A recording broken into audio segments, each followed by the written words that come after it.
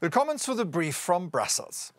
Der britische Premierminister will mit einem nur wenig subtilem Schachzug das Londoner Unterhaus matt setzen. Da er eine parlamentarische Niederlage befürchtet, schickt er die Abgeordneten einfach nach Hause. Ein eher merkwürdiges Demokratieverständnis, das eigentlich ein Einschreiten der EU-Kommission provozieren könnte. So wird in Brüssel gemurmelt. Polen und Ungarn lassen grüßen. Die geplante Zwangspause des britischen Parlaments hat einen unkontrollierten Brexit am 31. Oktober wahrscheinlicher gemacht.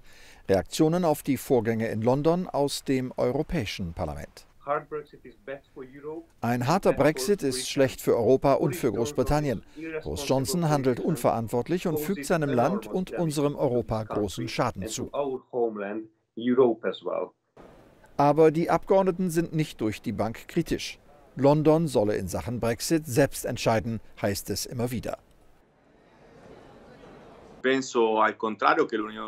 Die Europäische Union soll pragmatisch reagieren und Großbritannien nicht bestrafen. Die bisherigen Reaktionen sind aber eher ideologisch. Die Zwangspause des Londoner Unterhauses führt dazu, dass den Gegnern eines harten Brexit nur wenig Zeit bleibt, gegenzusteuern. Aber auch die britische Regierung verliert Zeit, eine Lösung für das Problem der inneririschen Grenze zu finden. Premierminister Johnson beharrt auf eine Neuverhandlung mit der EU.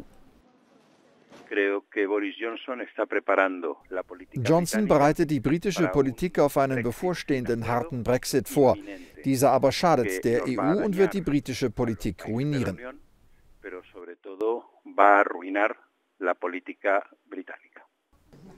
Johnson wird nach der parlamentarischen Zwangspause am 17. Oktober zu seinem ersten EU-Gipfel nach Brüssel reisen. Danach sind noch zwei Wochen Zeit, die Dinge doch noch zu ändern. Und nun weiter mit Kurznachrichten. Darin geht es nicht um Brexit, aber um Sorgen vor einer Gefahr für die Demokratie. Journalistenorganisationen in Deutschland sorgen sich um potenzielle rechtsextreme Gewalt gegen einzelne Reporter. In einem Brief an Innenminister Seehofer verlangten sie Schutzmaßnahmen für ihre Mitglieder.